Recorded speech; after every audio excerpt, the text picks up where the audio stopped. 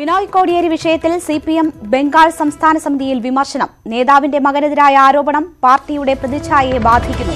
ഇക്കാര്യത്തിൽ P B വിശദീകരണം നൽകണം.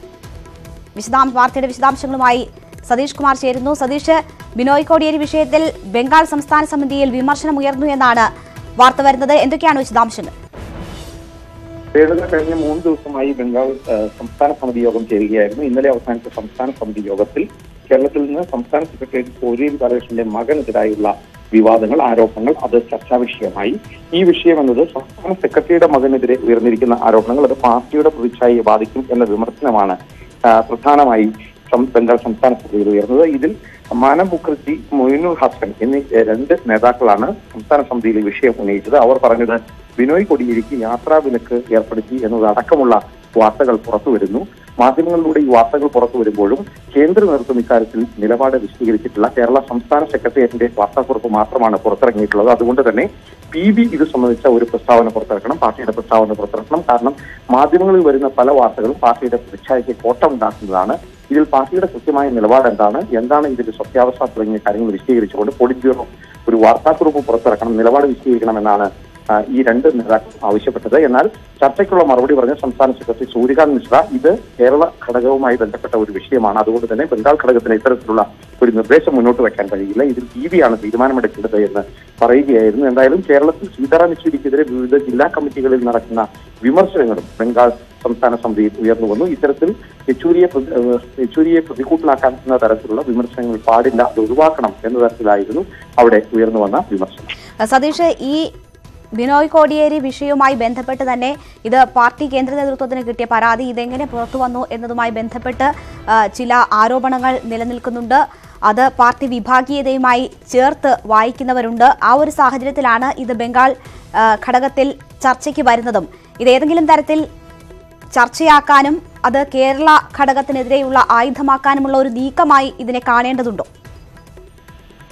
തീർച്ചയായും നമുക്ക് ആ രീതിയിൽ തന്നെ ഇതിനെ വിലയിരുത്തേണ്ടി വരും. കാരണം ഈ വിഷയം ബംഗാൾ സംസ്ഥാന സമിതിയിൽ ഉന്നയിച്ചത് ഒന്ന് മാന മുഖർജി. മാന മുഖർജി കൊൽക്കത്ത ജില്ലാ കമ്മിറ്റിയിലേക്ക് സെക്രട്ടറി സ്ഥാനത്തേക്ക് നടന്ന തെരഞ്ഞെടുപ്പിൽ മത്സരിക്കുകയും പരാജയപ്പെടുകയും ചെയ്ത നേതാവാണ് മാന മുഖർജി എന്നത് യെച്ചൂരി പക്ഷത്തോട് അടുപ്പമുള്ള അതായത് ബംഗാൾ ഘടകം പറയുന്നത് പോലെ തന്നെ കോൺഗ്രസുമായി രാഷ്ട്രീയ ധാരണയെങ്കിലും വേണം എന്ന നിലപാടുള്ള നേതാവാണ് മാനം മുഖർജി. എന്നാൽ കൊൽക്കത്ത ജില്ലാ കമ്മിറ്റിയിൽ മാനം മുഖർജി പരാജയപ്പെടുകയും അവിടെ കാലാട്ടുപക്ഷത്തിന്റെ പക്ഷത്തിന്റെ കാരാട്ട് പക്ഷത്ത് നിന്ന് മത്സരിച്ച ആൾ അവിടെ സെക്രട്ടറിയായി തെരഞ്ഞെടുക്കപ്പെടുകയും ചെയ്തു. ആ രീതിയിൽ നോക്കുമ്പോൾ തീർച്ചയായും യെച്ചൂരി പക്ഷം എന്ന രീതിയിൽ തന്നെ അല്ലെങ്കിൽ ബംഗാൾ ഘടകവും കേരള ഘടകവും തമ്മിലുള്ള ഒരു മത്സരമായി ഇതിനെ കാണാൻ കഴിയും. എന്തായാലും ബംഗാൾ സംസ്ഥാന സമിതിയിൽ വിമർശനങ്ങൾ ഉയർന്നു എന്നതിൽ നിന്ന് നമുക്ക് ലഭിക്കുന്ന സൂചന വരുന്ന കേന്ദ്ര കമ്മിറ്റിയിൽ ബംഗാൾ നേതാക്കൾ ഈ വിഷയം ഉന്നയിച്ചേക്കും. കേന്ദ്ര കമ്മിറ്റിയിൽ ഇത് സംബന്ധിച്ചുള്ള ചർച്ചകൾ നടക്കും എന്ന് തന്നെയാണ് നമുക്ക് ഇപ്പോൾ അനുമാനിച്ചത്. ശരി. ജെ സതീഷ് കുമാറാണ് വിവരങ്ങൾ നൽകിയത്. കെ എസ് ആർ ടി സിക്ക് സമാനമായ പെൻഷൻ പ്രതിസന്ധിയിലേക്ക് പോകുമെന്ന ആശങ്കയിൽ കെ എസ് സി ബിയും. ആശങ്ക ചൂണ്ടിക്കാട്ടി തൊഴിലാളി സംഘടനാ നേതാക്കൾ വൈദ്യുതി ബോർഡ് ചെയർമാന് കത്തയച്ചു. പെൻഷൻ വിതരണത്തിനായി രൂപീകരിച്ച ട്രസ്റ്റിലേക്കുള്ള വിഹിതം അടയ്ക്കാൻ കഴിയാത്ത വിധം സാമ്പത്തിക പ്രതിസന്ധിയിലാണ് ബോർഡെന്ന് കത്തിൽ പറയുന്നു. ബോർഡിന്റെ സഞ്ചിത നഷ്ടം ആയിരത്തി എണ്ണൂറ്റി എഴുപത്തിയേഴ് കോടി രൂപയായി ഉയർത്തണമെന്നും chairman N S Pillai trade union നേതാക്കൾക്ക് അയച്ച കത്തിൽ വ്യക്തമാക്കുന്നു. രണ്ടായിരത്തി പതിമൂന്നിൽ വൈദ്യുതി ബോർഡ് കമ്പനിയാക്കുന്നത് സംബന്ധിച്ച് ഒപ്പുവെച്ച ത്രികക്ഷി കരാർ പ്രകാരമാണ് master pension and gratuity trust രൂപീകരിച്ചത്. രണ്ടായിരത്തി പതിമൂന്നിന് മുമ്പ് സർവീസിൽ പ്രവേശിച്ചവർക്കുള്ള പെൻഷൻ വിതരണം ചെയ്യുകയായിരുന്നു ട്രസ്റ്റിന്റെ ലക്ഷ്യം. ട്രസ്റ്റിലേക്ക് പന്ത്രണ്ടായിരം കോടി രൂപയുടെ സർക്കാർ ബോണ്ടും കമ്പനിവൽക്കരണത്തിന്റെ ഭാഗമായി നൽകി. എന്നാൽ ഈ ട്രസ്റ്റിലേക്ക് വൈദ്യുതി ബോർഡ് നൽകേണ്ട വിഹിതം നൽകാൻ കഴിയുന്നില്ലെന്നാണ് പുതുതായി ചുമതല ഏറ്റെടുത്ത ശേഷം തൊഴിലാളി സംഘടനാ നേതാക്കൾക്ക് നൽകിയ കത്തിൽ വൈദ്യുതി board chairman N S Pillai വ്യക്തമാക്കുന്നത്. രണ്ടായിരത്തി പതിനേഴോട് പെൻഷൻ ബാധ്യത പതിനാറായിരത്തി ഒരുന്നൂറ്റി നാൽപ്പത്തി ഏഴ് കോടിയായി ഉയർന്നു. ഈ സാഹചര്യത്തിൽ മൂവായിരത്തി എഴുന്നൂറ്റി ഇരുപത്തിയെട്ട് കോടി രൂപ K S C B pension വിഹിതമായി master ട്രസ്റ്റിന് നൽകേണ്ടതുണ്ട്. എന്നാൽ വാർഷിക സഞ്ചിത നഷ്ടം ആയിരത്തി എണ്ണൂറ്റി എഴുപത്തിയേഴ് കോടി രൂപയായി ഉയർന്ന സാഹചര്യത്തിൽ വിഹിതമടയ്ക്കാൻ കഴിയുന്നില്ലെന്നാണ് ചെയർമാൻ ചൂണ്ടിക്കാട്ടുന്നത്. രണ്ടായിരത്തി പതിമൂന്നിന് ശേഷം സർവീസിൽ പ്രവേശിച്ചവർക്ക് പങ്കാളിത്ത പെൻഷൻ പദ്ധതിയായതിനാൽ ആശങ്കയ്ക്കിടയില്ല. എന്നാൽ രണ്ടായിരത്തി പതിമൂന്നിന് മുമ്പ് സർവീസിൽ പ്രവേശിച്ചവരാണ് ഇപ്പോൾ ആശങ്കയിലായിരിക്കുന്നത്. കെ എസ് ആർ ടി സിക്ക് സമാനമായ പെൻഷൻ പ്രതിസന്ധിയിലേക്ക് കെ എസ് ഇ ബിയും പോകുന്നു എന്നതാണ് പ്രധാന ആശങ്ക. അതേസമയം ആയിരത്തി എണ്ണൂറ്റി എഴുപത്തിയേഴ് കോടി രൂപയുടെ സഞ്ചിത നഷ്ടം എന്നത് കെ എസ് ഇ ബിയെ സംബന്ധിച്ച് വലിയൊരു തുകയല്ല എന്നും തൊഴിലാളികൾ ചൂണ്ടിക്കാട്ടുന്നു. Biju Gopinath News Eighteen Thiruvananthapuram. K S E B pension മുടങ്ങുമെന്ന് മുന്നറിയിപ്പ് നൽകുന്ന ബോർഡ് ചെയർമാന്റെ കത്തിനെക്കുറിച്ച് അറിയില്ലെന്നാണ് വൈദ്യുതി മന്ത്രി എം എം മണി പ്രതികരിച്ചത്. പെൻഷൻ വിതരണം മുടങ്ങില്ലെന്നും മന്ത്രി പറഞ്ഞു. ചെയർമാൻ അങ്ങനെ കത്ത് കൊടുത്ത് ചെയർമാനും മാത്രം അത് അങ്ങനെ തീരുമാനിക്കാൻ കഴിയുന്ന കാര്യമല്ലല്ലോ. ചുമ്മാ നിങ്ങളെ ഇമ്മ ആവശ്യമില്ലാണ്ട് ഏർപ്പാട് ഉണ്ടാക്കണ്ട. അങ്ങനൊന്നൊരു പെൻഷനും പോ- പോകില്ല അതന്നെ അവിടെ ഏതെങ്കിലും ഒരു ചെയർമാനോ അല്ലെങ്കിൽ ഒരു ബോർഡോ അങ്ങനെ തീരുമാനിച്ചാൽ അത് തീരുന്നതാണ്? നിലവിൽ നിയമവും കൊടുത്തുകൊണ്ടിരിക്കുന്ന പെൻഷൻ. അങ്ങനെ ഒരു വിഷയമില്ല. ഏഴായിരത്തഞ്ഞൂറ് കോടി രൂപ കടമുണ്ട്. ഇന്ത്യയിൽ മറ്റ് സംസ്ഥാനങ്ങളിലെ ബോർഡുകൾക്കെല്ലാം എൺപതിനായിരം തൊണ്ണൂറായിരം കോടി രൂപ വീതം കടവാണ് അത്രയും കടബാധ്യതയൊന്നുമില്ല. ഇത് വലിയ ആസ്തിയുള്ള സ്ഥാപനമാണ് ഇലക്ട്രിസിറ്റി ബോർഡ്. എത്രയോ ലക്ഷം കോടിയുടെ ആസ്തിയുള്ളതാണ്. അതാണ്. അതുകൊണ്ട് കുറച്ച് കടബാധ്യതയുണ്ടെന്നുള്ളത് അതിപ്പോൾ തുടർന്ന് അല്ല കുറച്ച് നാളായി ഉള്ളതാണ്. അതുകൊണ്ട് പെൻഷൻ ഇല്ലാതാക്കാനോ തൊഴിലാളികൾക്ക് കൊടുത്തുകൊണ്ടിരിക്കുന്ന ഏതെങ്കിലും അവകാശം ഇല്ലാതാക്കാനോ ഒന്നും അങ്ങനെ ഒരു ചിന്തയില്ല. K S R T C pension സഹകരണ ബാങ്കുകൾ വഴി വിതരണം ചെയ്യാനുള്ള നടപടികൾ തുടങ്ങി. ബാങ്കുകളുടെ കൺസോർഷ്യത്തിന് നൽകേണ്ട കരട് ഇന്ന് കൈമാറുമെന്ന് മന്ത്രി എ കെ ശശീന്ദ്രൻ പറഞ്ഞു. ഈ മാസം പതിനാലിനകം കുടിശ്ശിക നികത്തുമെന്ന ഉറപ്പിനെ തുടർന്ന് പെൻഷൻകാർ നടത്തിവന്ന സമരം അവസാനിപ്പിച്ചിരുന്നു. പെൻഷൻ കുടിശ്ശിക കൊടുത്തു തീർക്കാൻ സഹകരണ ബാങ്കുകളുടെ കൺസോർഷ്യവുമായി ധാരണാപത്രം ഉടൻ ഒപ്പുവയ്ക്കും. ഇതിനായുള്ള നടപടികൾ സഹകരണ ഗതാഗത വകുപ്പുകളിൽ പുരോഗമിക്കുകയാണ്. പെൻഷൻ മുടങ്ങാതിരിക്കാനുള്ള സാഹചര്യം ഉണ്ടാക്കുമെന്ന് മന്ത്രി എ കെ ശശീന്ദ്രൻ കോഴിക്കോട് പറഞ്ഞു. എംഒയുടെ കരട് ഇന്ന് ട്രാൻസ്പോർട്ട് ഡിപ്പാർട്ട്മെന്റ് തയ്യാറാക്കി. സഹകരണ വകുപ്പിന് കൊടുക്കുകയുള്ളൂ. സർക്കാരിന്റെ ഉറപ്പിനെ തുടർന്ന് സെക്രട്ടേറിയറ്റിന് മുന്നിലും ജില്ലാ കേന്ദ്രങ്ങളിലും നടത്തിവന്ന സമരം പെൻഷൻകാർ അവസാനിപ്പിച്ചു. അതേസമയം ആറുമാസത്തെ പെൻഷന്റെ കാര്യത്തിൽ മാത്രമാണ് മുഖ്യമന്ത്രി ഉറപ്പു നൽകിയതെന്നിരിക്കെ. അതിനുശേഷം കാര്യങ്ങൾ പഴയപടിയാകുമെന്ന് ഇവർക്ക് ആശങ്കയുണ്ട്. പലരും ആത്മഹത്യയുടെ വക്കത്താണ്. സർക്കാർ ഏറ്റെടുക്കുന്നുള്ളത് നമ്മൾ ഒരിഞ്ച് പോലും പിന്നോട്ടില്ല. എടുത്തേ പറ്റൂ. അത് എടുത്താൽ മാത്രമേ ശാശ്വതമായ ഒരു പരിഹാരം ഈ പെൻഷൻകാർക്കുണ്ടാകും ഈ സർക്കാരിന്റെ പ്രസ്താവന എന്ന് പറയുമ്പോൾ നമുക്ക് പൂർണമായിട്ട് വിശ്വസിക്കാൻ കഴിയില്ല. സഹകരണ ബാങ്കുകളിൽ പെൻഷൻകാർ അക്കൗണ്ട് എടുക്കണമെന്നാണ് നിർദ്ദേശം. തുടർന്ന് അക്കൗണ്ട് വിവരങ്ങൾ പെൻഷൻ യൂണിറ്റുകളിൽ എത്തിക്കണം. പതിനാലിന് മുൻപ് മൂന്ന് ദിവസങ്ങൾ അവധിയാണെന്നിരിക്കെ ഇത്തരം നടപടികൾ പൂർത്തിയാക്കാനാകുമോ എന്നും പെൻഷൻകാർക്ക് ആശങ്കയുണ്ട്. News Eighteen Thiruvananthapuram. സർക്കാരിന്റെ ധൂർത്തും കെടുകാര്യസ്ഥതയുമാണ് സാമ്പത്തിക പ്രതിസന്ധിക്ക് കാരണമെന്ന് രമേശ് ചെന്നിത്തല. കെ എസ് ബിക്ക് വേണ്ടി വായ്പയെടുത്താൽ ആ സ്ഥാപനം കൂടി ഇല്ലാതാകും. മുണ്ടു മുറുക്കി ഉടുക്കണമെന്ന് പറയുമ്പോഴും സർക്കാരിന്റെ ധൂർത്തിന് കുറവില്ലെന്നും ചെന്നിത്തല ആരോപിച്ചു. തീർച്ചയായിട്ടും ഗവൺമെന്റിന്റെ കാര്യക്ഷമതയില്ലായ്മ കൊണ്ടാണ് ഇലക്ട്രിസിറ്റി ബോർഡ് പോലെയുള്ള ഒരു സ്ഥാപനം കൂടുതൽ തകർച്ചയിലേക്ക് എത്തുന്നത്. ഇതിനുള്ള ഉത്തര ഇതിന്റെ ഒന്നാമത്തെ ഉത്തരവാദിത്വ സർക്കാരിനാണ്. അപ്പം കെടുകാര്യസ്ഥതയും ദൂർത്തും അഴിമതിയുമാണ് ഇത്തരം സ്ഥാപനങ്ങളെ തകർച്ചയിലേക്ക് എത്തിക്കുന്നത്. K S R T C പെൻഷന്റെ കാര്യത്തിൽ സ്ഥിതി അതീവ ഗുരുതരമെന്ന് മുൻ മുഖ്യമന്ത്രി ഉമ്മൻചാണ്ടി. പെൻഷൻ ബാധ്യത ഏറ്റെടുക്കുമെന്ന് പറഞ്ഞാണ് എൽ ഡി എഫ് അധികാരത്തിൽ വന്നത്. വാക്കുപാലിക്കാൻ സർക്കാർ തയ്യാറാകണമെന്നും ഉമ്മൻചാണ്ടി കണ്ണൂരിൽ പറഞ്ഞു. കഴിഞ്ഞ തെരഞ്ഞെടുപ്പ് കാലത്ത് K S R T C പെൻഷൻകാരുടെ pension സമയത്ത് കൊടുക്കാൻ വോട്ട് ചെയ്യാനാണ് ഇടതു മുന്നണി ആവശ്യപ്പെട്ടത്. അവരുടെ പ്രകടന പത്രികയിലും വ്യക്തമായ വാഗ്ദാനമുണ്ടായിരുന്നു. കെ എസ് ആർ ടി സിക്ക് നിന്നുള്ള അനുഭവം കൂടി മുമ്പിൽ കാണണം. ഏതായിരുന്നാലും കെ എസ് ആർ ടി സിയിലെ പ്രശ്നം ഗവൺമെന്റ് ഇടപെട്ട് പരിഹരിക്കണം. കേരളത്തിലെത്തുന്നത് വ്യാജ എണ്ണ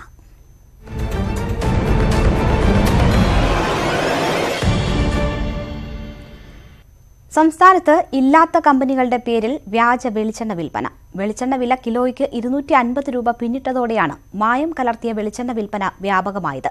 കവറിൽ കേരള വിലാസം രേഖപ്പെടുത്തി തമിഴ്നാട്ടിൽ നിന്ന് പാക്ക് ചെയ്താണ് വെളിച്ചെണ്ണ എത്തിക്കുന്നതെന്ന് ന്യൂസ് എയ്റ്റീൻ നടത്തിയ അന്വേഷണത്തിൽ വ്യക്തമായി.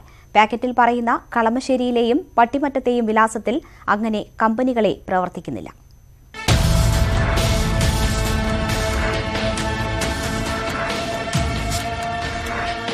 പരിശോധനയിൽ മായം കണ്ടെത്തിയതിനെ തുടർന്ന് ഭക്ഷ്യസുരക്ഷാ വിഭാഗം നിരോധനം ഏർപ്പെടുത്തിയ വെളിച്ചെണ്ണ ബ്രാൻഡുകളാണിത്.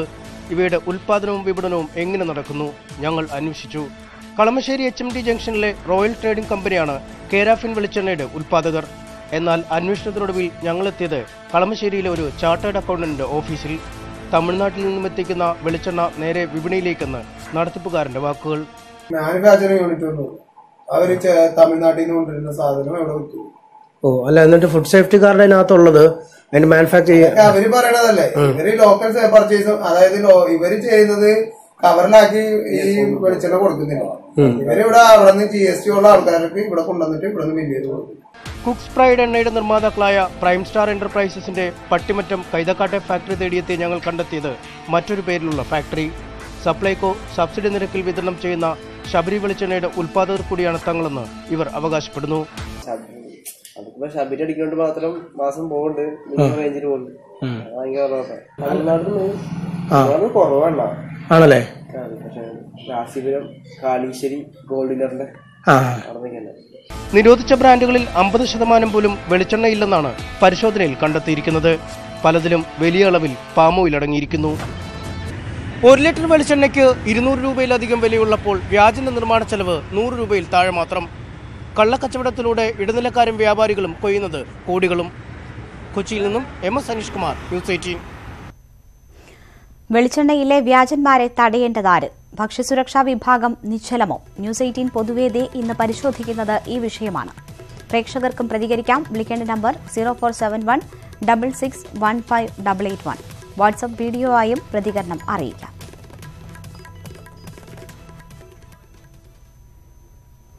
കേരള കോൺഗ്രസ് നേതാവും ഭാര്യയും കേരള ഫിനാൻഷ്യൽ കോർപ്പറേഷനിൽ നിന്ന് വായ്പാ തട്ടിപ്പ് നടത്തിയെന്ന് vigilance report. K M Mani ധനമന്ത്രിയായിരിക്കുമ്പോൾ വ്യാജ സത്യവാങ്മൂലം സമർപ്പിച്ച് പലിശരഹിത വായ്പ നേടിയെന്നാണ് കണ്ടെത്തൽ. റിപ്പോർട്ടിന്റെ അടിസ്ഥാനത്തിൽ വായ്പ തിരിച്ചുപിടിക്കാൻ നടപടി തുടങ്ങി. News Eighteen exclusive. Youth Front സംസ്ഥാന പ്രസിഡന്റ് സജി മഞ്ഞക്കടമ്പിൽ ഭാര്യ ലത എന്നിവരുൾപ്പെടെ അഞ്ചു പേർക്കെതിരെയാണ് വിജിലൻസിന്റെ അന്വേഷണ റിപ്പോർട്ട്. സർക്കാർ ധനകാര്യ സ്ഥാപനമായ കേരള ഫിനാൻഷ്യൽ കോർപ്പറേഷനിൽ വ്യാജ സത്യവാങ്മൂലം നൽകി ഇരുപത് ലക്ഷം രൂപ വായ്പയെടുത്തെന്നാണ് കണ്ടെത്തൽ. കെ എം മാണി ധനമന്ത്രിയായിരിക്കെ തൊഴിൽ രഹിതർക്ക് പലിശയില്ലാതെ വായ്പ നൽകാൻ ആരംഭിച്ച സ്വയം സംരംഭകത്വ മിഷനിൽ നിന്നാണ് വായ്പയെടുത്തത് അഞ്ചുപേർ ചേർന്ന് പങ്കാളിത്ത സംരംഭം രൂപീകരിച്ചായിരുന്നു രണ്ടായിരത്തി പതിനാലിൽ കെ എസ് സി കോട്ടയം ശാഖയിൽ അപേക്ഷ നൽകിയത്. പങ്കാളികളെല്ലാം തൊഴിൽ രഹിതരായിരിക്കണമെന്ന വ്യവസ്ഥ അട്ടിമറിച്ചതായാണ് വിജിലൻസ് കണ്ടെത്തൽ. രാമപുരം സർവീസ് സഹകരണ ബാങ്കിൽ സ്ഥിരം ജീവനക്കാരിയായിരുന്നിട്ടും ഭാര്യ ലത തൊഴിൽ രഹിതയാണെന്ന് സത്യവാങ്മൂലം നൽകിയിരുന്നു. ജില്ലാ പഞ്ചായത്ത് ഭരണങ്ങാന ഡിവിഷനിൽ അംഗമായിരിക്കെ സജി വായ്പയെടുത്തതിലും വ്യവസ്ഥാ ലംഘനമുണ്ടെന്ന് വിജിലൻസ് കണ്ടെത്തി. കെ കോട്ടയം ചീഫ് മാനേജർ അന്നമ്മയെയും കേസിൽ പ്രതി ചേർത്തിട്ടുണ്ട്. കെ എം മാണി ധനകാര്യമന്ത്രിയായിരിക്കെ അദ്ദേഹത്തിന് നിയന്ത്രണം ഉണ്ടായിരുന്ന കേരള ഫിനാൻഷ്യൽ കോർപ്പറേഷനിൽ നിന്നും കേരള കോൺഗ്രസ് നേതാക്കൾ വായ്പ തട്ടിച്ചതിന്റെ കൂടുതൽ തെളിവുകളാണിപ്പോൾ പുറത്തുവരുന്നത്. സജി മഞ്ഞക്കടമ്പലിനെതിരെ വായ്പ തട്ടിച്ചത് സംബന്ധിച്ച് വ്യക്തമായ തെളിവുകൾ ഉണ്ടായിട്ടും നടപടിയെടുക്കാൻ ഇടതു സർക്കാർ മടിക്കുന്നത് എന്തുകൊണ്ട്? Biju Gopinath News Eighteen Thiruvananthapuram. Thrissur വാൽപ്പാറയിൽ നാലര വയസ്സുകാരനെ പുലി കടിച്ച് കൊന്നതോടെ ഭീതിയിലാണ് ജനങ്ങൾ. തോട്ടം തൊഴിലാളികളുടെ മകനായ സെയ്തുള്ളയാണ് ഇന്നലെ കൊല്ലപ്പെട്ടത്. പ്രദേശത്ത് വന്യമൃഗശല്യം പതിവായിട്ടും അധികൃതർ നടപടിയെടുക്കാത്തതിലുള്ള പ്രതിഷേധം കൂടുതൽ ശക്തമായി. ഇന്നലെ വൈകിട്ട് അഞ്ചരയോടെയാണ് ദാരുണ സംഭവം സംഭവമുണ്ടായത് വാൽപ്പാറ നടുമല എസ്റ്റേറ്റിലെ തോട്ടം തൊഴിലാളികളുടെ മകൻ സെയ്തുളാണ് കൊല്ലപ്പെട്ടത്. അമ്മയ്ക്കൊപ്പം കുളി കഴിഞ്ഞ് മുറ്റത്തേക്കിറങ്ങിയപ്പോൾ കുട്ടിയെ പുലി പിടികൂടുകയായിരുന്നു. ഉടൻ തേയിലക്കാടിൽ തിരച്ചിൽ നടത്തിയെങ്കിലും കുട്ടിയെ കണ്ടെത്താനായില്ല.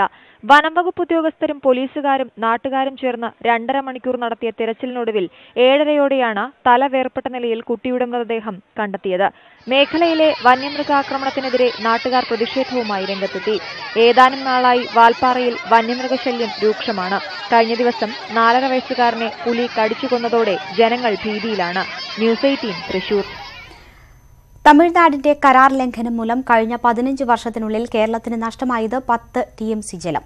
ഇക്കാലയളവിൽ തമിഴ്നാട് ആവശ്യത്തിന് വെള്ളം അവരുടെ ഡാമുകളിലേക്ക് തുറന്നുവിട്ടുകൊണ്ടാണ് കേരളത്തിന് അർഹതപ്പെട്ട ജലം നിഷേധിച്ചത്. News Eighteen exclusive. ആളിയാർ ഡാമിൽ നിന്നും രണ്ടായിരത്തി രണ്ട് രണ്ടായിരത്തി മൂന്ന് കാലഘട്ടം മുതൽ ഇതുവരെയുള്ള ജലവിതരണത്തിന്റെ കണക്ക് പരിശോധിക്കുമ്പോഴാണ് കേരളത്തിന് പത്ത് ടി എം സിയോളം ജലം നഷ്ടമായിട്ടുള്ളതായി വ്യക്തമാവുന്നത്. ആളിയാറിൽ നിന്നും ചിറ്റൂർ പുഴയിലേക്ക് പ്രതിവർഷം ഏഴ് ദശാംശം രണ്ട് അഞ്ച് ടി എം സി പ്രകാരം പതിനഞ്ച് വർഷത്തേക്ക് നൂറ്റിയെട്ട് ദശാംശം ഏഴ് അഞ്ച് ടി എം സി വെള്ളം ലഭിക്കണം. എന്നാൽ തൊണ്ണൂറ്റിയൊൻപത് ടി എം സി മാത്രമാണ് കേരളത്തിന് ലഭിച്ചിട്ടുള്ളത്. രണ്ടായിരത്തി മൂന്ന് രണ്ടായിരത്തി നാല് വർഷത്തിന് ശേഷം ഏറ്റവും കുറവ് വെള്ളം കിട്ടിയത് കഴിഞ്ഞ വർഷമാണ്. രണ്ടായിരത്തി മൂന്നിൽ മൂന്ന് ദശാംശം ആറ് ടി എം സി വെള്ളമാണ് കിട്ടിയതെങ്കിൽ രണ്ടായിരത്തി പതിനാറ് പതിനേഴിൽ നാല് ദശാംശം മൂന്ന് ടി എം സിയും ലഭിച്ചു. ചിറ്റൂർ പുഴയെ ആശ്രയിച്ച് ഇരുപതിനായിരം ഹെക്ടർ പ്രദേശത്ത് നെൽകൃഷി നടപ്പിലാക്കുന്നുണ്ട്. എന്നാൽ കരാർ പ്രകാരമുള്ള വെള്ളം ലഭിക്കാത്തതിനാൽ ജലസേചന പദ്ധതികളുടെ പ്രവർത്തനം താളം തെറ്റുന്നു. ഇതുമൂലം ഓരോ വർഷവും നെൽകൃഷി ചെയ്യുന്നവരുടെ എണ്ണം കുറഞ്ഞു വരികയാണ്. കേരളത്തിന് അർഹതപ്പെട്ട ജലം നേടിയെടുക്കാൻ മാറി മാറി ഭരിച്ച L D F U D F സർക്കാരുകൾ ആത്മാർത്ഥമായ ഒരു സമീപനവും സ്വീകരിക്കാത്തതാണ് പ്രതിസന്ധി ഇത്രയും വഷളാക്കിയത്. ഇനിയെങ്കിലും ഇക്കാര്യത്തിൽ കർശന നടപടി സ്വീകരിച്ചില്ലെങ്കിൽ കേരളത്തിന്റെ നെല്ലറിയായ പാലക്കാട്ടെ നെൽകൃഷി ഓർമ്മ മാത്രമാവും. Prasad Udumbissery News Eighteen Palakkad. മുൻ മുഖ്യമന്ത്രി ഉമ്മൻചാണ്ടി ഉൾപ്പെട്ട പാറ്റൂർ ഭൂമി ഇടപാട് കേസ് ഹൈക്കോടതി റദ്ദാക്കി. ഹൈക്കോടതി നടപടി മുൻ chief secretary E K Bharat ഭൂഷന്റെ ഹർജിയിലാണ് വിവരങ്ങളുമായി ശ്രീനാഥ് ചേരുന്നു. ശ്രീനാഥ് എന്താണ് കോടതി ഈ കേസ് റദ്ദാക്കാനുള്ള കാരണം?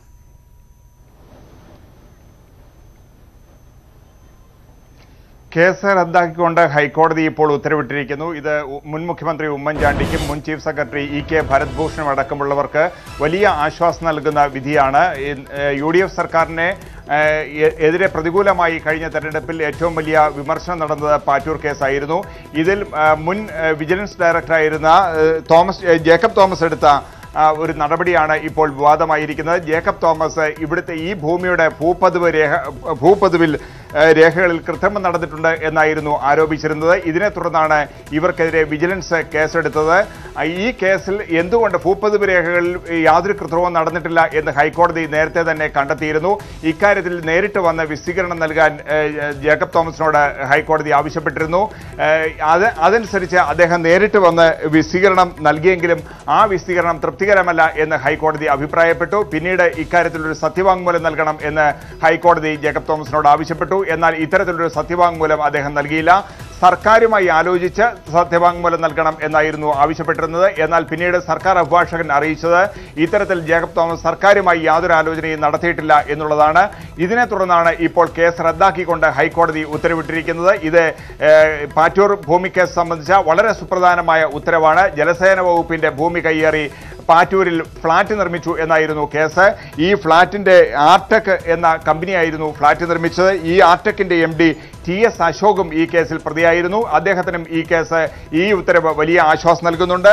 ഏതായാലും യു ഡി എഫ് സർക്കാരിനെ പിടിച്ചുലച്ച ഒരു വിവാദത്തിന് ഇതോടെ അന്ത്യമാകുകയാണ് കഴിഞ്ഞ തെരഞ്ഞെടുപ്പിൽ സി എൽ ഡി എഫിന്റെ ഏറ്റവും വലിയ പ്രതിരോ ആയുധമായിരുന്നു പാറ്റൂർ ഭൂമി ഇടപാട്. ഇതിൽ ഉമ്മൻചാണ്ടി പ്രതിയാണെന്നും ഉമ്മൻചാണ്ടിക്ക് ഈ കേസിൽ പങ്കുണ്ട് എന്നും ഈ ഫ്ളാറ്റ് നിർമ്മാണ കമ്പനിയുമായി ചേർന്നുകൊണ്ടാണ് ഇത്തരത്തിൽ ഒരു ക്രമക്കേട് നടത്തിയത് എന്നുമായിരുന്നു ആരോപണം. ഇക്കാര്യത്തിൽ ജേക്കബ് തോമസിന്റെ നിലപാടുകൾ തുടക്കം മുതൽ ഉമ്മൻചാണ്ടി സർക്കാരിന് എതിരായിരുന്നു. ഒരുപക്ഷെ ഉമ്മൻചാണ്ടി സർക്കാരും ജേക്കബ് തോമസും തമ്മിൽ അകലാനുള്ള കാരണവും ഇതുതന്നെയായിരുന്നു ഒരുപക്ഷെ അതിനുശേഷം വന്ന എൽ സർക്കാർ വിജിലൻസ് ഡയറക്ടറായി ജേക്കബ് തോമസിനെ തന്നെ നിയമിക്കാനും കാരണം അതുതന്നെയായിരുന്നു എന്നാൽ പിന്നീടാണ് സർക്കാരിന് ഇക്കാര്യം ബോധ്യമായത്. ഈ ഭൂപതിവ് രേഖകളിൽ യാതൊരുവിധമായ കൃത്രവും ഉണ്ടായിരുന്നില്ല. ഇത് ഹൈക്കോടതിക്കും വളരെ വ്യക്തമായി മനസ്സിലായിരുന്നു. ഏതായാലും ജേക്കബ് തോമസ് ഇപ്പോൾ സസ്പെൻഷനിലാണ്. അദ്ദേഹത്തിന്റെ തിരിച്ചുവരവിനും ഇത് വലിയ തോതിൽ പ്രത്യാഘാതം സൃഷ്ടിക്കാനുള്ള സാധ്യതയുണ്ട്. അദ്ദേഹത്തിന് കേന്ദ്ര വളരെ. കേരള സമൂഹം ചർച്ച ചെയ്തിരുന്ന ഒരു കേസാണ് ഈ പാറ്റൂർ കേസ്. മുഖ്യമന്ത്രി ഉമ്മൻചാണ്ടി ഉൾപ്പെടെയുള്ളവരെ പ്രതിരോധത്തിലാക്കിയിരുന്ന കേസ്. ഈ എഫ്ഐആർ തന്നെ കോടതി റദ്ദാക്കുന്ന ഒരു സാഹചര്യം വന്നതോടുകൂടി ഇതുമായി ബന്ധപ്പെട്ട എല്ലാ കേസും എല്ലാ ആരോപണങ്ങളും തന്നെ ഇല്ലാതാകുന്നതിലേക്കാണോ കാര്യങ്ങൾ എത്തുക?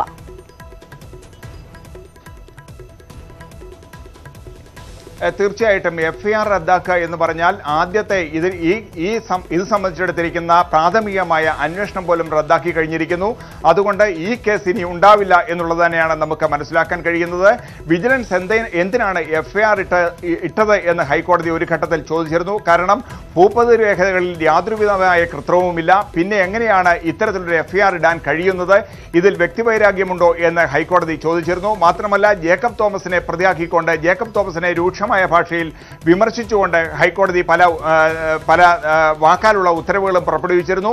ഏതായാലും അതിന്റെ പരിസമാപ്തി എന്നോണമാണ് ഇന്ന് ഈ കേസ് തന്നെ റദ്ദാക്കിക്കൊണ്ട് ഇതിന്റെ എഫ് ഐ ആർ തീർച്ചയായും. തന്നെ ഉമ്മൻചാണ്ടിയെ സംബന്ധിച്ച് വലിയ ആശ്വാസമാണ് ഇന്നത്തെ കോടതി നടപടികൾ ഉണ്ടാകുന്നത്. ഒപ്പം ഈ ഹർജി സമർപ്പിച്ച മുൻ chief secretary E K Bharat Bhushan ഉൾപ്പെടെയുള്ളവർക്ക് വലിയ ആശ്വാസം നൽകുന്നു.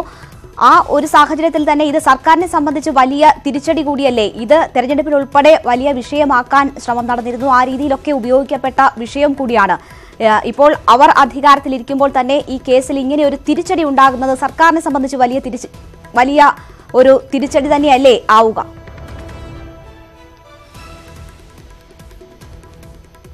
രേണുക തീർച്ചയായിട്ടും ഇത് സർക്കാരിന് വലിയ തോതിലുള്ള തിരിച്ചടിയാണ്. കഴിഞ്ഞ നമുക്കറിയാം എൽ ഡി എഫ് സർക്കാർ അധികാരത്തിൽ വരുന്നതിന് മുമ്പ് നടന്ന തെരഞ്ഞെടുപ്പിൽ അവർ ഉപയോഗിച്ചിരുന്ന രണ്ട് മുദ്രാവാക്യങ്ങൾ അതായത് പാറ്റൂർ ഭൂമി ഇടപാടും അതേപോലെ സോളാർ കേസുമായിരുന്നു.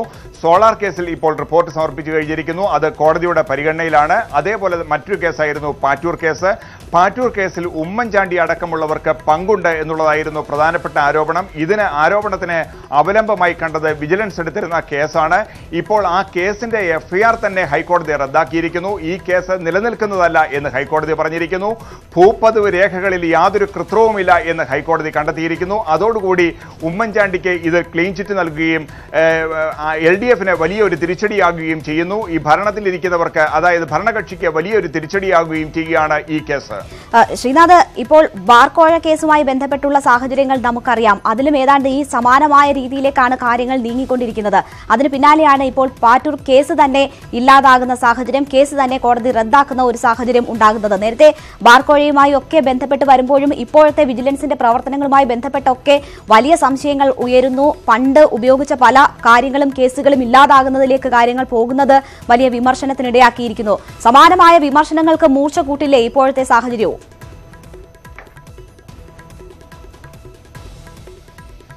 തീർച്ചയായിട്ടും ഭരണത്തിലിരിക്കുന്നവർ അല്ലെങ്കിൽ വിജിലൻസ് കൈയാളുന്നവർ നിഷ്പക്ഷമായി പ്രവർത്തിക്കുന്നില്ല എന്നൊരു എന്നൊരു സന്ദേശമായിരിക്കും ഈ കേസുകൾ നൽകാം. നേരത്തെ രേണുക സൂചിപ്പിച്ചതുപോലെ ബാർക്കോഴ കേസിന്റെ കാര്യത്തിലും ഇതുതന്നെയാണ് സംഭവിച്ചുകൊണ്ടിരിക്കുന്നത്. അതിൽ പല കേസുകളും കെ എം മാണി അടക്കമുള്ളവരുടെ കേസുകൾ നിലനിൽക്കില്ല എന്നൊരു സൂചന ഇപ്പോൾ തന്നെ പുറത്തു വന്നു കഴിഞ്ഞിരിക്കുന്നു. ഇനി കെ ബാബുവിന്റെ കേസാണ് അവശേഷിക്കുന്നത്. അതേപോലെ തന്നെ ഇപ്പോൾ വിജിലൻസ് എടുത്തിരിക്കുന്ന വളരെ പ്രധാനപ്പെട്ട രണ്ടാമത്തെ കേസായിരുന്നു പാറ്റൂർ കേസ്. അതിന്റെ എഫ്ഐആർ തന്നെ റദ്ദാക്കുക എന്ന് പറയുമ്പോൾ കേസ് തന്നെ അടിസ്ഥാനമില്ലാത്തതായിരുന്നു എന്നുള്ളത് തെളിയുന്നു.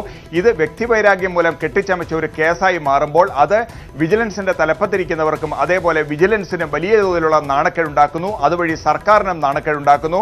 സർക്കാർ ഇത്തരം കേസുകൾ ഉപയോഗിച്ച് പ്രതിപക്ഷത്തെ അല്ലെങ്കിൽ ഭരണത്തിലില്ലാത്തവരെ ഉപദ്രവിക്കാൻ ശ്രമിക്കുന്നു. അല്ലെങ്കിൽ വിജിലൻസ് തലപ്പത്തുള്ളവർ വ്യക്തിവൈരാഗ്യത്തോടുകൂടി പെരുമാറുന്നു എന്നൊരു പ്രതിച്ഛായയായിരിക്കും ഇതുവഴി സൃഷ്ടിക്കുക. ഏതായാലും ഈ കേസ് അത്തരത്തിൽ ഒരു വലിയ നാണക്കേടിലാണ് ചെന്നെത്തിച്ചിരിക്കുന്നത് തീർച്ചയായും. തുടരുക. ഇപ്പോൾ തിരുവനന്തപുരത്ത് നിന്ന് ടി ജി സജിത്ത് കൂടി നമ്മോടൊപ്പം ചേരുന്നുണ്ട്. സജിത്ത് രാഷ്ട്രീയമായി ഒരുപാട് ഉപയോഗിക്കപ്പെട്ടതാണ്. പാറ്റൂർ ഭൂമി ഇടപാടുമായി ബന്ധപ്പെട്ട ഈ കേസ്. വി എസ് ഉൾപ്പെടെയുള്ളവരുടെ ഈ കേസിലെ ഇടപെടലൊക്കെ ആ നിലയ്ക്ക് വേണം കാണാൻ. സർക്കാർ ഭൂമി കൈയേറി എന്നതാണ് ഇതിന് ആസ്പദമായ സംഭവം. ഇത് ഇത് ഇത് തെളിയിക്കുന്ന ഒരുപാട് കാര്യങ്ങൾ പുറത്തു വരിക വരുന്നുണ്ടായിരുന്നു. ഒരുപാട് ഇടപെടലുകൾ ഉണ്ടായിരുന്നു. പക്ഷേ ഇപ്പോൾ ആ കേസേ ഇല്ല എന്ന നിലയിലേക്കാണ് ഹൈക്കോടതിയിൽ സംഭവങ്ങൾ എത്തി നിൽക്കുന്നത്. എന്താണ് മനസ്സിലാക്കേണ്ടത്? എന്താണ് ഈ കേസുമായി ബന്ധപ്പെട്ട് സംഭവിച്ചിട്ടുള്ളത്? രേണുക രേണുക സൂചിപ്പിച്ചതുപോലെ തന്നെ കഴിഞ്ഞ ഉമ്മൻചാണ്ടി സർക്കാരിനെ വലിയ പ്രതിസന്ധിയിലാക്കിയതാണ് പാറ്റൂർ ഇടപാട് കേസ്.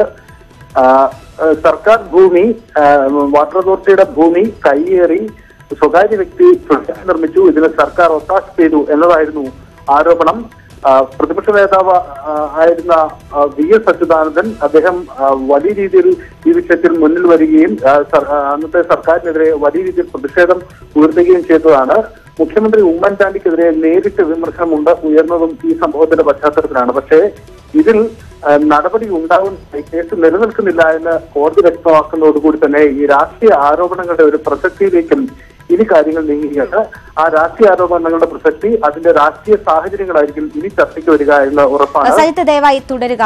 ഇപ്പോൾ അഡ്വക്കേറ്റ് എ ജയശങ്കർ നമ്മോടൊപ്പം ടെലിഫോൺ ലൈനിൽ ചേരുകയാണ്. ശ്രീ ജയശങ്കർ മുൻ മുഖ്യമന്ത്രി ഉമ്മൻചാണ്ടി ഉൾപ്പെട്ട പാറ്റൂർ ഭൂമി ഇടപാട് കേസ് ഹൈക്കോടതി റദ്ദാക്കിയിരിക്കുകയാണ്. ഉമ്മൻചാ ആ കേസ് തന്നെ ഇല്ലാത്ത ഒരു സാഹചര്യം ഉണ്ടാകുന്നു. ഉമ്മൻചാണ്ടിയെ സംബന്ധിച്ച് ഭയങ്കര അനുകൂലമായ ഒരു നടപടി കോടതിയുടെ ഭാഗത്തു നിന്നും ഉണ്ടാകുന്നു. ഇതുവരെ രാഷ്ട്രീയമായി വലിയ രീതിയിൽ ഉപയോഗിക്കപ്പെട്ട ഒരു വിഷയത്തിലാണ് സർക്കാരിനെ സംബന്ധിച്ച് തിരിച്ചടിയേറ്റിരിക്കുന്നത് താങ്കൾ എങ്ങനെയാണ് ഈ സാഹചര്യത്തെ കാണുന്നത്? സംസ്ഥാനത്തെ വിജിലൻസ് സംവിധാനം തീരെ കാര്യക്ഷമമല്ലാതെ കുത്തഴിഞ്ഞ രീതിയിലാണ് പോയിക്കൊണ്ടിരിക്കുന്നത്. ഇവിടെ വിജിലൻസ് ഡയറക്ടർ പോലും ഇല്ല. പോലീസ് മേധാവിക്കാണ് വിജിലൻസ് ഡയറക്ടർ ചാർജ് കൊടുത്തിട്ട് വിജിലൻസ് കേസുകളെല്ലാം തന്നെ ഒന്നുകിൽ വിജിലൻസുകാരെ തന്നെ അന്വേഷിച്ച് എഴുതി തരണം അല്ലെങ്കിൽ ഹൈക്കോടതി റദ്ദാക്കുകയോ ചെയ്തുകൊണ്ടിരിക്കുന്ന കാഴ്ചയും നമ്മൾ കാണുന്നത്. ഇവിടെ ഇ പി ജയരാജനെതിരായിട്ടുള്ള കേസും പാറ്റൂർ കേസാണെങ്കിലും മറ്റ് കെ എം മാണിക്കെതിരായിട്ടുള്ള പല സാമ്പത്തിക ഗുരുതരമായ ആരോപണങ്ങളാണെങ്കിൽ പോലും. ഇതെല്ലാം തന്നെ കോടതിയുടെ കടമ്പ കടക്കുന്നില്ല എന്നുള്ളത് സംസ്ഥാനത്തിന് പൊതുവിൽ ലജ്ജാകരമാണ് പാറ്റൂർ ഇടപാടിൽ വലിയ അഴിമതി നടന്നു. ചില സ്വകാര്യ വ്യക്തികൾ അതിൽ നിന്ന് അനർഹമായ രീതിയിൽ ലാഭമുണ്ടാക്കി എന്നുള്ള കാര്യമൊക്കെ വ്യക്തമാണ്. പൊതുമുതൽ കയ്യേറി എന്നുള്ള കാര്യം പകൽ പോലെ വ്യക്തമായിട്ടുള്ള കാര്യമാണ്. പക്ഷേ ഇതൊന്നും ഫലപ്രദമായ രീതിയിൽ കോടതിയിൽ അവതരിപ്പിക്കാനായിട്ട് സർക്കാരിന് സാധിക്കുന്നില്ല. ഇവിടെ ഒരു അഡ്വക്കേറ്റ് ജനറൽ ഉണ്ട്. അദ്ദേഹത്തിന്റെ കീഴിൽ ഒരു വലിയ സംഘം തന്നെ പ്രവർത്തിക്കുന്നുണ്ട്. ഗവൺമെന്റ് ലീഡർ എന്നൊക്കെ പറഞ്ഞു ഈ സംവിധാനവും ഫലപ്രദമായിട്ട് പ്രവർത്തിക്കുന്നില്ല. ഇപ്പൊ വിജിലൻസും പരാജയപ്പെട്ടു അഡ്വക്കേറ്റ് ജനറൽ ഓഫീസും പരാജയപ്പെട്ടു എന്നാണ് നമ്മൾ മനസ്സിലാക്കുന്നത് അല്ലാതെ പാറ്റൂരിൽ ഒരു അഴിമതി ഉണ്ടായിട്ടില്ലെന്നോ അവിടെ ഭൂമി കയ്യേറിയിട്ടില്ലെന്നോ സർക്കാരിന് നഷ്ടം വന്നിട്ടില്ലെന്നോ. സ്വകാര്യ വ്യക്തികൾക്ക് ലാഭം ഉണ്ടായിട്ടില്ല എന്ന് തീർച്ചയായും വിജിലൻസ് സംവിധാനത്തിന്റെ വീഴ്ചയാണ് ഉണ്ടായിരിക്കുന്നത് എന്നാണ് അഡ്വക്കേറ്റ് ജയശങ്കർ പറയുന്നത്. ഇപ്പോൾ അടൂർ പ്രകാശ് കൂടി നമ്മോടൊപ്പം ടെലിഫോൺ ലൈനിൽ ചേരുന്നു. മുൻമന്ത്രി ശ്രീ അടൂർ പ്രകാശ് യു- ഡി എഫിനെ സംബന്ധിച്ച് പ്രത്യേകിച്ച് മുൻ മുഖ്യമന്ത്രി ഉമ്മൻചാണ്ടിയെ സംബന്ധിച്ച് ഏറ്റവും യോജിച്ച ഒരു കോടതി വിധി അവർക്ക് ഏറ്റവും സഹായകമാകുന്ന ഒരു കോടതി നടപടിയാണ് ഇന്നുണ്ടായിട്ടുള്ളത്. ആ കേസ് തന്നെ ഇല്ലാതാകുന്നു. യു ഡി എഫിന് ഒരുപാട് പ്രതിരോധത്തിലാക്കിയതാണ് ഈ പാറ്റൂർ കേസ്. അതുമായി ബന്ധപ്പെട്ട് ഉയർന്ന ആരോപണങ്ങൾ ഒക്കെയും. ഈ കോടതി നടപടികളെ താങ്കൾ എങ്ങനെ കാണും? കോടതിയുടെ ഒരു തീരുമാനം പുറത്തു വന്ന ആ തീരുമാനം ശരിക്കും ശരിയായിട്ട് നീതി നീതി നടപ്പാക്കി എന്നാണ് എന്റെ വിശ്വാസം. ശരിക്കും ശരിയായിട്ടുള്ള ഒരു കാര്യം എന്ന് പറയുന്നത് ഇതിനകത്തെ എന്തെങ്കിലും തെറ്റുകൾ ചെയ്തിട്ടുണ്ടോ? തെറ്റ് അവിടെ എന്തെങ്കിലും ചെയ്തതിന്റെ അടിസ്ഥാനത്തിലാണോ ഇത് ഇത്തരത്തിൽ പിന്നെ ഇന്ന് ഈ കുറ്റാരോപിതനായി മുഖ്യമന്ത്രി ഉൾപ്പെടെയുള്ള ആളുകളെ കുറിച്ച് പറയുമ്പോൾ അതിന്റെ നീതി നീതിന്യായ വശങ്ങൾ ആണ് അന്വേഷണം നടക്കാനുള്ളത്. അന്വേഷണം നടത്തിയതിന്റെ അടിസ്ഥാനത്തിൽ തന്നെയാണ് കോടതി അതിന്റെ ശരിയും തെറ്റും വിലയിരുത്തും നടത്തിയതിനു ശേഷമാണല്ലോ ഇപ്പോൾ ഏതായാലും കോടതിയുടെ ഒരു അന്തിമമായ ഒരു വിധി ഉണ്ടായി എന്ന് നിങ്ങൾ പറയുന്നത്. തീർച്ചയായും വളരെ സന്തോഷകരമായ ഒന്നായിട്ടാണ് ഞാൻ കാണുന്നത്. സന്തോഷകരമായ കാര്യം കോടതിയിൽ സത്യം തെളിഞ്ഞിരിക്കുന്നു എന്നാണ് അടൂർ പ്രകാശ് പറയുന്നത്. വളരെ നന്ദി. ശ്രീ അടൂർ പ്രകാശ് ഒപ്പം തന്നെ അഡ്വക്കേറ്റ് ജയശങ്കർ ഞങ്ങളോട് സംസാരിച്ചതിന്. മുൻ മുഖ്യമന്ത്രി ഉമ്മൻചാണ്ടി ഉൾപ്പെട്ട പാറ്റൂർ ഭൂമി ഇടപാട് കേസാണ് ഹൈക്കോടതി റദ്ദാക്കിയിരിക്കുന്നത്. ഹൈക്കോടതി നടപടി ഇന്നുണ്ടായിരിക്കുന്നത് മുൻ chief secretary E K Bharat Bhushan നൽകിയ ഹർജിയിലാണ്. യു ഡി എഫിനെ സംബന്ധിച്ച് വലിയ അനുകൂലമാകുന്ന ഒരു നിലപാട് കോടതിയുടെ ഭാഗത്തു നിന്നും ഉണ്ടായിരിക്കുന്നു. സർക്കാരിനെ സംബന്ധിച്ച് വലിയ തിരിച്ചടിയാണ് ഈ കോടതി നടപടി. ഒപ്പം വിജിലൻസ് സംവിധാനം കുത്തഴിഞ്ഞു എന്നതുൾപ്പെടെയുള്ള വലിയ ആരോപണങ്ങൾക്ക് കൂടി മൂർച്ച കൂട്ടുന്നതാണ് ഇപ്പോഴത്തെ കോടതി നടപടികൾ. ശ്രീനാഥാണ് വാർത്തയുടെ വിശദാംശങ്ങൾ നൽകിയത്.